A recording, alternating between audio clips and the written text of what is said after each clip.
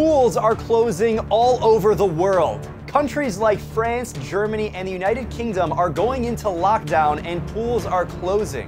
When countries go into lockdown, that most likely means that restaurants, movie theaters, social gatherings, and unfortunately pools have to close their doors. Now, this shouldn't be that much of a surprise considering most of the world has already had to go through some sort of lockdown earlier this year. And of course, depending on where you live and the rate of infection in your area, you may not have experienced any lockdowns at all. Unfortunately, that's not the case for most people, and in the last six or seven months, we've all had to make adjustments. Now, you might be thinking to yourself, if the science shows that community spread is slow at pools, then why are pools shutting down? And if my pool shuts down, what am I supposed to do about it? Well, in this video, we're gonna talk about all those things. And if you guys are new to the channel, welcome to MySwimPro. We share the latest and greatest to help you improve your performance and health both in and out of the water.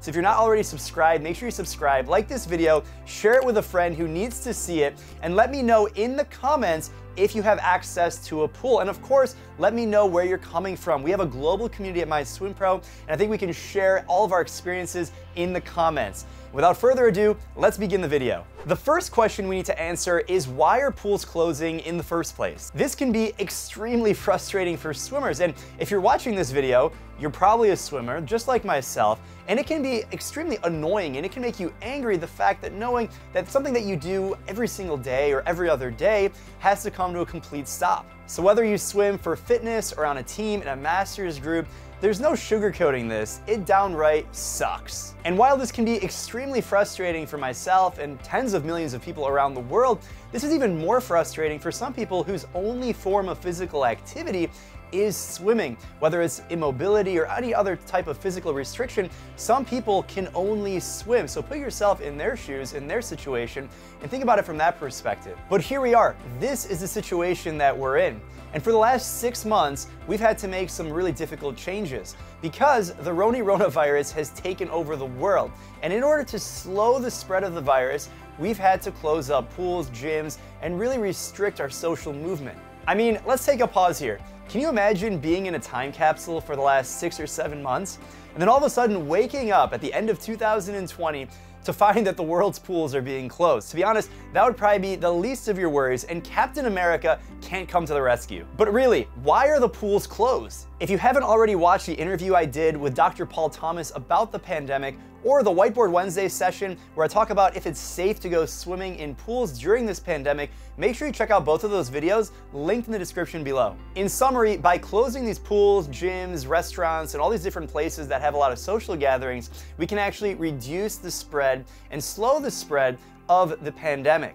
Now, I don't want to get into the politics here, especially considering a announcement from UK Prime Minister just came out that all leisure centers are going to be closed for the next four weeks at a minimum. A lot of countries in Europe have already locked down. Here where I live in the United States, it doesn't seem like we're that far away from that. But all politics aside, there are some actions and things that you should do to make sure that these pools don't get closed forever. In a recent statement by Swim England chief executive Jane Nickerson, she said that the Prime Minister's latest coronavirus announcement was certainly inevitable. She goes on to say, I, like everyone in the country, hope they, and they referring to the recent lockdown measures, have the desired effect and we see the number of cases start to fall. She goes on to say that there still needs to be clarification on the types of pools and leisure centers affected, but goes on to encourage everyone to sign petitions to open leisure centers, which we'll link in the description of this video, and shout at the top of our lungs to keep pools open with Save Our Sports. One thing I want to make very clear, this isn't about the United Kingdom, France, Germany, or the United States for that matter. Because at the end of the day, we're all in this together.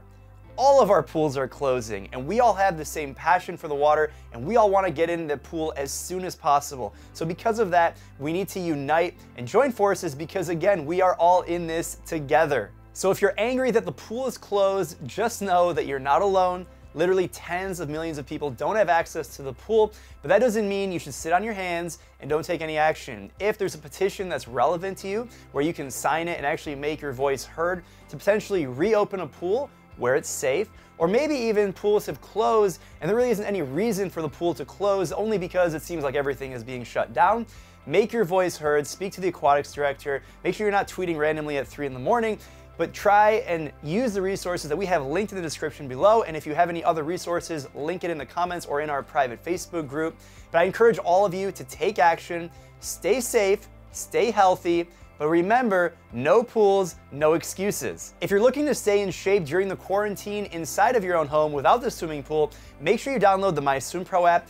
We have tons of training programs for swimmers specifically that you can do in your home with equipment or without any equipment at all. These are swimming specific movements that'll keep you in shape, invigorate your aerobic system, and also build strength and help prevent against injury. So that way you're focused on improving your performance and health out of the water. So that way when you get back into the water, you'll be on your way to reaching towards your goals. I'm also planning on doing more live dryland sessions, both here on YouTube or any of the other platforms you may be watching this on. So make sure you're following MySwimPro on all of our different social media platforms so you can stay up to date and join me live for some of those workouts. And finally, if you're still watching this video until the very end, Thank you so much for your time. Please share this video with other swimmers and members of the swimming community. Don't sit on your hands take action, and above all else, make sure you stay safe and stay healthy. If you guys are not already in the free MySwimPro Global Community Facebook group, I'll make sure it is linked in the description below. We have thousands of swimmers from over 100 different countries who are all passionate about swimming faster and smarter than ever before,